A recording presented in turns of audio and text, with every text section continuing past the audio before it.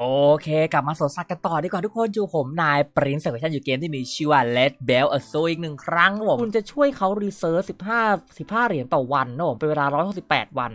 แล้วคุณได้รับบูปินเพื่อทางมัน หรือคุณจะจ่ายแม่งเลยพันหนึ่ง แล้วคุณจะได้รับทันทีเลย รออะไรล่ะ สามารถผสมพันธุ์ได้แล้วนะผมตอนนี้รออะไรครับผมสร้างเลย อะไรอะ่ะ คุณสามารถใช้อาร์ตติส ในการแก้คอมมอนเซนได้โดยการเอาเป็ดไปย้อมสีจะได้เป็นนกยุงออกมา หากเรื่องทางนี้แล้วก็ค่าความมืดของคุณจะเพิ่มขึ้น Reject Offer ก็ไม่ได้เลยบางครั้งคนเราก็ต้องรวยทีที่เข้าเชนว่ะรออะไรอะครับ ไปดิ